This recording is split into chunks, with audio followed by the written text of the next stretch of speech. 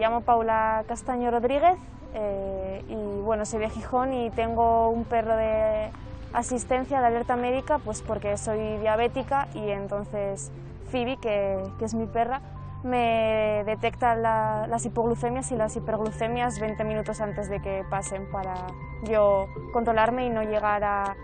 una hiperglucemia o una hipoglucemia más, más grave.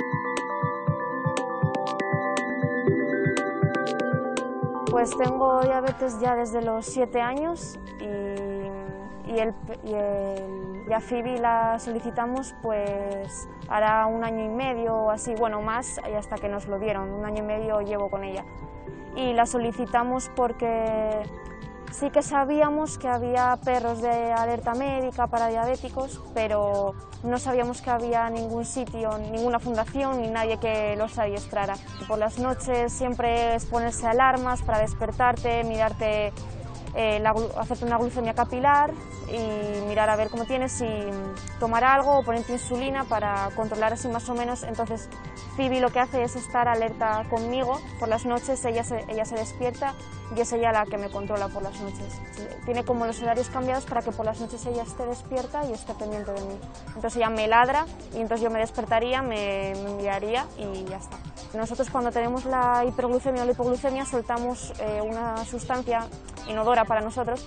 pero que los perros lo detectan 20 minutos antes. Me pidieron, por ejemplo, dormir con un peluche, entregar una camiseta usada,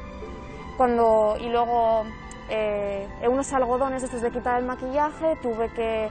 escupir, cuando tenía hipoglucemia, eh, hiperglucemia tenía que escupir y meterlos en un bote y mandárselo a ellos para que como que personalicen un poco al perro para cada persona, porque yo no sabía qué perro me iban a dar, pero ellos ya me habían hecho preguntas para saber qué tipo de perro iba mejor conmigo. Son todo Jack Russell Terrier y Sé que los usan eh, porque es una raza, bueno, ellos son de caza, ellos son perros de caza y son porque son perros muy, muy activos, tienen muchísima energía este tipo de perros entonces,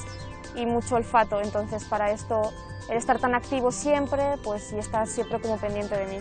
Yo lo recomiendo porque, bueno, aparte de la compañía que te da el tener un perro, un perro, cualquier perro, pues para un diabético, para una persona diabética es un gran cambio el hecho de que esté alguien pendiente de ti y que,